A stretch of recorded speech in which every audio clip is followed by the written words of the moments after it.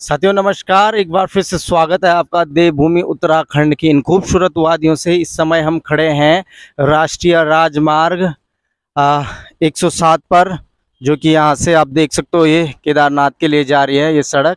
और यहाँ से जो ये सड़क जा रही है, ये सड़क जा रही है डमार के लिए। तो डमार यहाँ से लगभग तीन किलोमीटर और ठीक सामने आप देख सकते हो, ये गेवाली गाँव है। और यहाँ से प्रकृति का बहुत ही सुंदर नज़ारा है।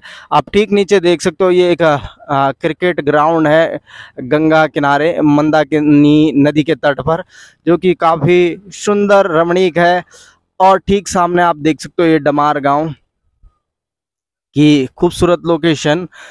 तो ये देख सकते हो आप नेशनल हाईवे और आप देख सकते हो ये Garhwal express G M O U की ये बस सुंदर सी जो अभी अपने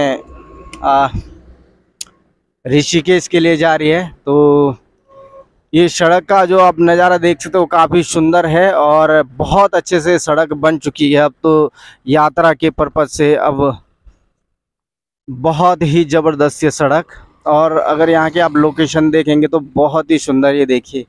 गुरियाल का फूल कितना सुंदर और रमणीक दिख रहा है। और यहाँ से ठीक नीचे ये मंदाकिनी नदी, जो कि हाल फ़िलहाल अभी काफ़ी सूख चुकी है गर्मी के समय पे। इसका जो प्रभाव है बिल्कुल शांत हो चुका है।